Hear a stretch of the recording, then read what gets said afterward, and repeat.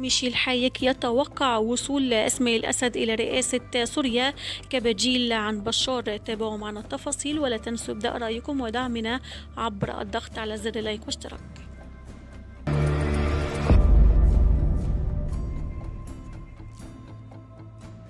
لم تمر أيام معدودة على توقعات ميشيل حايك لدولة سوريا 2021 اللي الآن البشاير تتحقق. ومن ضمن التوقعات أن هناك عفو رئاسي غير مسبوق في عام 2021 وسجن الصيدة تحت الأنظار وسوف يخطف الأضواء. وهناك مصالحات كبيرة مع شخصيات معارضة معتدلة وسوف تلمع في المشهد السوري. وأيضا هناك مفاجآت كبيرة يحضرها الرئيس السوري وأسماء الأسد ستظهر كثيرا وسوف تخطف الأضواء. وإليكم الأغرب أن رئيس النظام في سوريا بشار الأسد يتحضر لتطبيق خطة بديلة في حالة فشله باستمرار في حكم البلاد.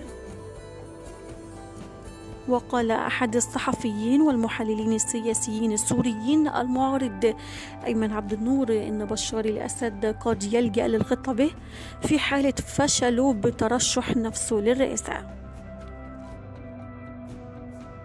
ومن الواضح أن بشار الأسد لديه خيارات أخرى منها ترشيح أسماء الأسد لتكون بديلا له وهو ما بدأ بالتمهيد له عبر تعليق صور أسماء في الكثير من مكاتب مسؤولي النظام إلى جانب صورة زوجها.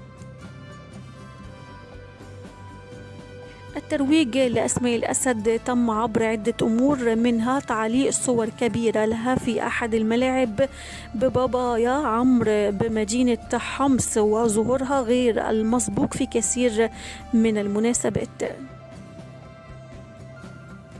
ظهور صور أسماء الأخرس أو أسماء الأسد في بعض المكاتب الحكومية. يأتي في سياق سعي النظام لتأمين حكمه مستخدما شعاراته الاعتيادية العصبيات وحماية الأقليات أو المقاومة.